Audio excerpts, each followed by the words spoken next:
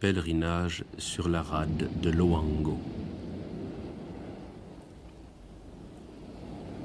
Jusqu'ici, j'ai suivi l'effluve de leur sang, de mon sang.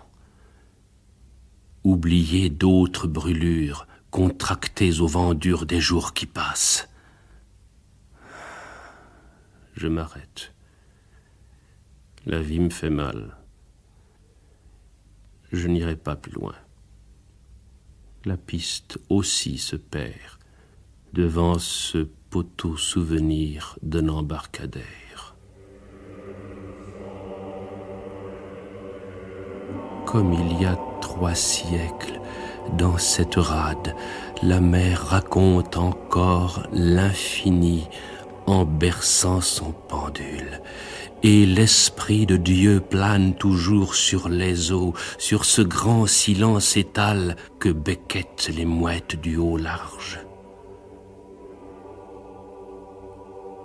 Je ne poursuivrai pas le pèlerinage sur la route sous-marine pavée d'ossements jusqu'à la résurgence lointaine de Jamestown parmi les camps de mort fleuris de coton.